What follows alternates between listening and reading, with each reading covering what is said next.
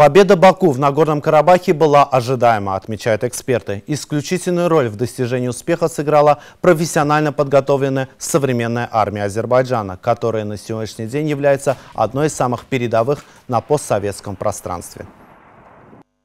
Обратите внимание на довольно-таки высокий уровень взаимопонимания личного между президентами Путиным и Алиевым. Я думаю, что у них уровень взаимопонимания гораздо выше, чем, скажем, между Путиным и Пашиняном, с учетом особенности прихода того политика к власти э, в Армении и с учетом того контекста лозунгов, которые он и его сторонники использовали во время прихода к власти, где был довольно существенный антироссийский элемент, что не могло быть незамечено российскими властями. На мой взгляд, Баку в этом вопросе сыграл, э, конечно, э, гораздо эффективнее, даже с точки зрения дипломатических отношений с Россией,